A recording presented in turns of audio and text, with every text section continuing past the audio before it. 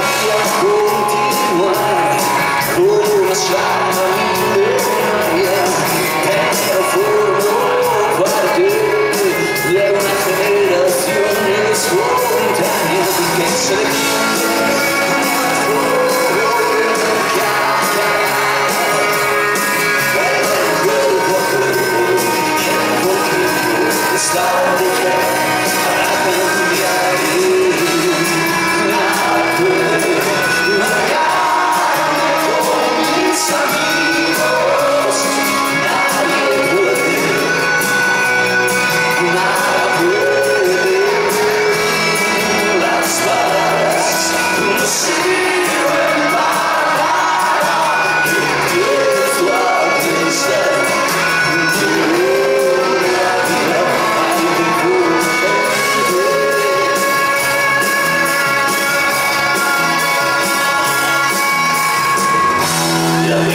vimos las puertas,